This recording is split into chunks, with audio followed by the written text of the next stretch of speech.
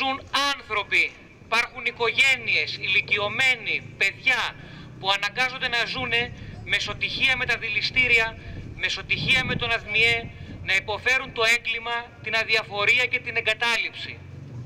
Τέρμα στα σχέδια για υποβάθμιση της περιοχής. Τέρμα στην υπερβολική κερδοφορία αυτών των εταιριών χωρίς ούτε ένα αντισταθμιστικό έργο να γυρίζει στον πολίτη και στον κάτοικο. Θα αγωνιστούμε για την ασφάλειά μας για να ξαναγίνει ο τόπος μας ένα όμορφο και ασφαλές μέρος για εμάς και τα παιδιά μας.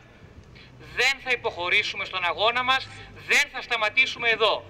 Όπως όλα τα σωματεία έτσι και ο σύλλογός μας, η εθελοντική ομάδα νεοκτήστων Ασπροπύργου, δίνουμε το παρόν, είμαστε αποφασισμένοι να παλέψουμε όλοι μαζί για τα δικαιώματά μας.